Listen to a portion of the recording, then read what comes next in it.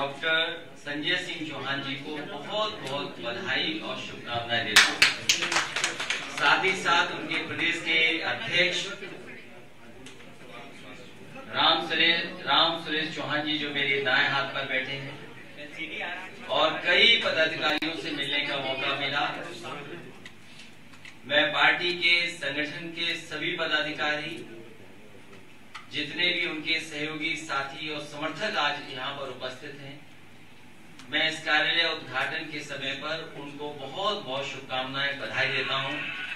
इस भरोसे के साथ कि अब आपका एक कार्यालय हो जाएगा, जो आपकी पार्टी का मकसद है लोगों तक पहुँचना, अपनी बात जनता के बीच में पहुंचाना, संगठन का काम हो, नियमित काम हो सके, उसके लिए जो आपने स्थान चिन्हित किया है उसके लिए मैं बहुत बहुत आपको शुभकामनाएँ देता हूँ।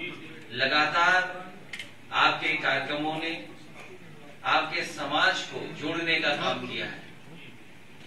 बड़ी संख्या में वो महापुरुष जिनका सम्मान होना चाहिए था। इधर लगातार दल तो बने, लेकिन बहुत सारे महापुरुषों का सम्मान नहीं हो पाया।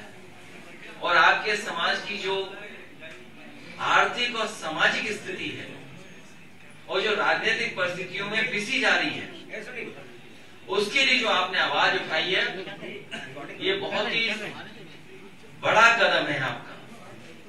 और इस फैसले के लिए बड़े कदम के लिए मैं आपको बधाई देता हूँ और समाजवादी पार्टी के साथ आपने जुड़कर के कहीं न कहीं उम्मीद अपने समाज के बीच में जगाई है।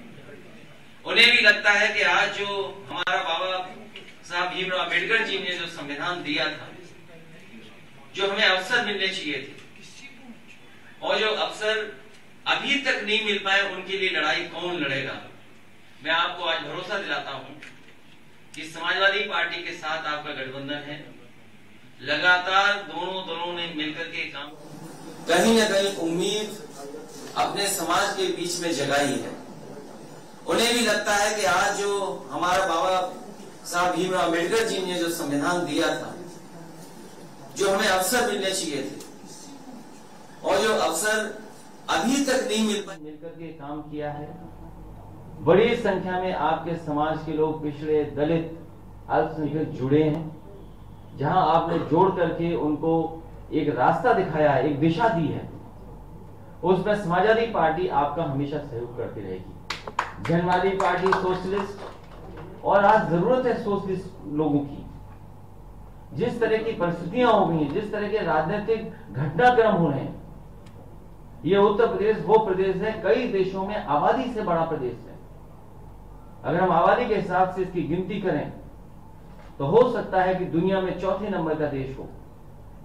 और अगर जो आबादी के हिसाब से चौथे नंबर का देश है उस प्रदेश की अर्थव्यवस्था भी उतनी हो सकती है। अगर दुनिया के दूसरे देशों में जो आबादी में इतने बड़े खुशहाली है, अगर उनके यहाँ और जहाँ सड़कें अच्छी बनी है, अस्पताल है सबके लिए, पढ़ाई का इंतज़ाम है, नए नौजवान नौकरी पा सकते हैं, बिजली सस्ती है, स्वास्थ्य सेवाएँ सस्ती हैं, और कहीं भेदभाव नहीं है। किसी तरह का जात का, धर्म का भेदभाव न हो, अगर दुनिया में दूसरी जगह हो सकता है तो क्यों नहीं भारत में और क्यों नहीं उत्तर प्रदेश में हो सकता? है इतनी बड़ी आबादी। और फिर सबसे बड़ा सवाल यह है कि जनगणना होने जा रही है। जनगणना बड़ा फैसला है सरकार का। उन जातियों को सम्मान देना, उन जातियों को हक देना, उन जातियों को बराबर खड़ा करना, जिनको आज़ादी के बाद सम्मान न मिला हो, आपकी जो लड़ाई है और जो समाजवादी पार्टी हमेशा कहती रही है कि जाति जनगणना होनी चाहिए, पिछड़ों की भी जाति जनगणना हो। कम से कम पता लगे कौन कितनी जाति का है। नहीं तो ये भारतीय जनता पार्टी जो सत्ता में आज है, वो जातियों में लड़ाई कराती रहेगी। भेदभाव करती रहेगी जातियों में। कभी किसी जाति को किसी जाति से, किसी जाति को किसी जाति से, केवल अपने स्वार्थ में। इसलिए जहाँ जनवादी पार्टी सोशलिस्ट और समाजवादी पार्टी ये मानती है कि आने वाले समय में पिछड़ी जातियों की भी गिनती हो और उनको भी आबादी के हिसाब से हक और सम्मान मिले। आज जो महँगाई है, महँगाई देखिए कहाँ पहुँच गई। भारतीय जनता पार्टी ये सोचती है कि कुछ पैसे कम कर दें तो जनता उनके साथ खड़ी हो जाएगी। समाजवादियों का मानना है कि अगर ये डीजल, पेट्रोल ज़ीरो भी कर देंगे, तब भी उत्तर प्रदेश की जनता इन्हें सफाया कर करके इनकी गिनती हो सकता है, न जाने कहाँ पहुँचा दे।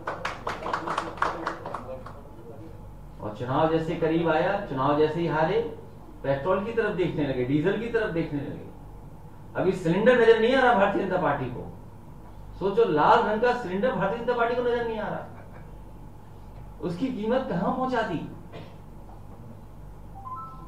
जिस समय डीजल, पेट्रोल महँगा होता है, हर चीज़ महँगी हो जाती है।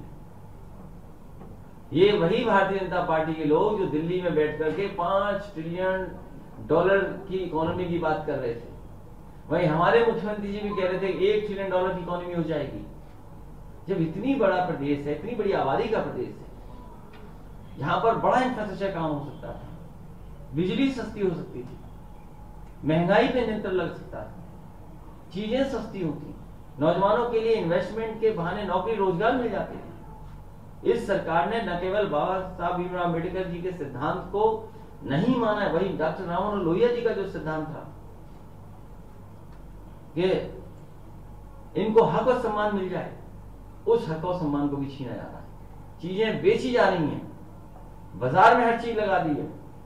कोई सरकार अगर चीज़ें बाज़ार में लग जाएगी तो कोई ना कोई खरीदने आ ही जाएगा। सब कुछ बेचना चाहती है सरकार। और ये सरकार बनी रही तो हो सकता है सब कुछ बेच करके सरकार को भी आउटसोर्स करके छोड़ के चले जाए। इसलिए हम सब लोगों को सावधान रहना है। मुझे खुशी है इस बात की कि जनवादी पार्टी सोशलिस्ट का आज अपना कार्यालय हो गया है। लखनऊ राजधानी में कार्यालय हो गया।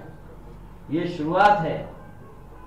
और थोड़ा बहुत अगर सहयोग और भारतीय जनता पार्टी ने बेईमानी न की होती तो आपका लखनऊ में तो नहीं, दिल्ली में घर परमानेंट हो गया होता।